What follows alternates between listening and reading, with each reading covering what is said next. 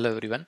In this video, we are going to see how to find pre-chat information that was passed when a chat was initiated. Uh, when a chat was initiated, we will pass some pre-chat information uh, to initiate a chat so that those information will be stored in uh, Salesforce objects and as well as it will be displayed uh, to the agents so that uh, the agent will also uh, uh, have some idea where the chat is coming from and what information the customer has uh, uh, entered while initiating a chat. Um, in this demo, I'm going to initiate the chat from Salesforce REST API. Um, I will definitely share how to initiate a chat from Salesforce REST API uh, so that uh, you can also uh, practice it. Uh, I'm not going to initiate a chat from a HTML page or from a Visualforce page. I'm going to use uh, Postman client so that I can initiate the Salesforce chat from the REST API. Uh, and I'm planning to pass a couple of uh, pre-chat information and we are going to see how to query those pre-chat information that was passed when the chat was initiated.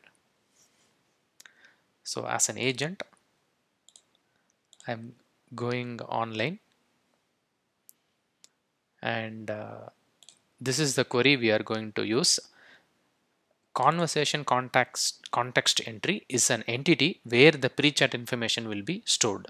So i'm going to uh, find what is the key what is the value uh, from the con uh, conversation context entry uh, entity where i will uh, try to pass the parent id so that it will uh, get the conversation contract context entries only for that particular chat transcript record. Um, so I will uh, also give a blog link so that you can get this query. Okay, so this is my Postman uh, client. So I'm going to first get the session ID. So I got all the information. I have some script where I am setting all the global variables using Postman and this is where I'm going to initiate my chat. I'm going to pass subject info and as well as sample info.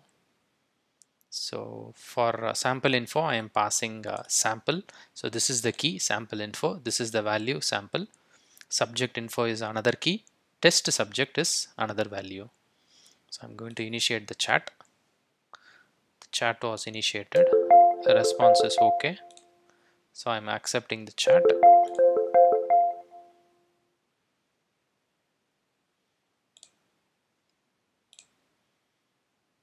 Okay I didn't accept it on time so it got missed. But still I'm going to query this chat transcript to find out what information were passed as part of pre-chat. So For this, I need the chat transcript ID. So I'm getting the chat transcript ID. And in the developer console, I will be using the transcript ID, which will be the parent ID. So if I query it, see, I passed subject info as test subject and sample info as sample. So this pre-chat details were stored in conversation context entry entity. So using this simple query, we can find out what information were passed when the chat was initiated. This is a, a pri uh, primary thing uh, we have to check when the chat was initiated and if the pre-chat information were not passed properly. So this will be our first troubleshooting uh, step.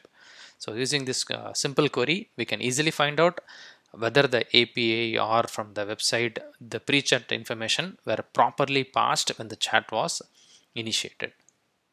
I hope this was helpful. Thank you for watching.